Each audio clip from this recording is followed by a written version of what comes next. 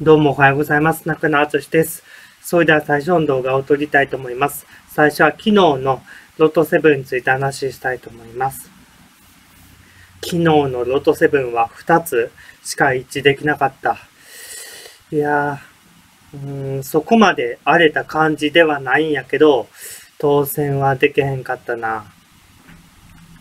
うん、ロト6みたいに極端な数字並びではないんやけど、でも、ここ2回は、ちょっと数字が離れてる。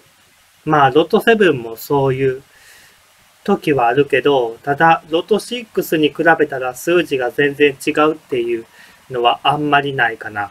まあ、ここ2回はちょっと離れてるけど、でもまた、その、数字が近づく、うん、タイミングはあると思うから、その時はチャンスかな。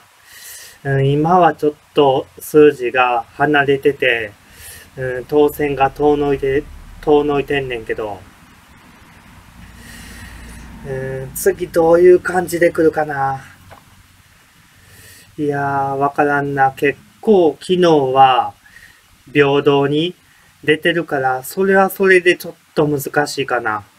うん、結構均等に出てるもんな。うん、本数字だけ見たら。結構平等に出てるから、なかなか予想が難しいねんけど、まあ、とりあえず今日は一旦休んで、明日からロト7は予想したいと思います。見ていただけたらありがたいです。